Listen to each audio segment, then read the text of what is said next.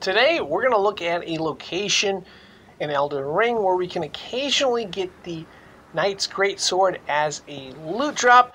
Need to get lucky, of course. We're heading to Caelid, and we're looking at the Smoldering Wall. There's this knight, fairly tough, but occasionally when we beat it, we'll get lucky with a nice loot drop like this sword.